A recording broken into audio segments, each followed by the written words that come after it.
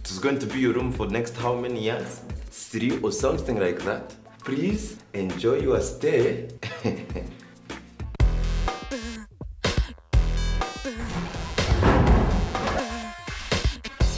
I have come to demand for democracy. As who? I, I'm the face of democracy here. You are pushing democracy. Am I the father of democracy? pushing Let's go.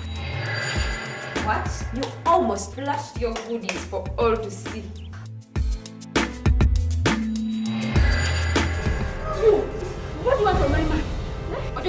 Is she addressing me? You know I can get any girl I want. Is that so? Brother John, you don't seem to be fine. What's the problem?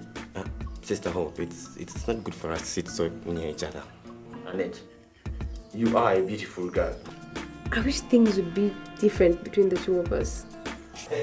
You have also arrived finally. Welcome to the hostel. Please have your cheese here.